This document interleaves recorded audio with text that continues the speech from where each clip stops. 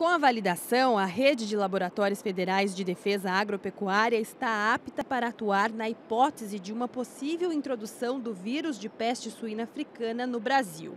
No caso de suspeita de PSA, o LFDA Minas Gerais é o laboratório oficial do Ministério da Agricultura para a realização do diagnóstico. O mapa reforça que desde 2018, quando a doença se disseminou na China e outros países da Ásia e Europa, vem sendo desenvolvidas ações para fortalecer as capacidades de prevenção do ingresso do vírus no país, visando a detecção e diagnóstico precoces e resposta rápida à eventual chegada da doença ao Brasil. O órgão reforçou que as análises laboratoriais desempenhadas pela rede são fundamentais à garantia da saúde dos rebanhos, da sanidade das lavouras e da qualidade dos diferentes produtos agropecuários consumidos no Brasil ou exportados a mais de 100 países.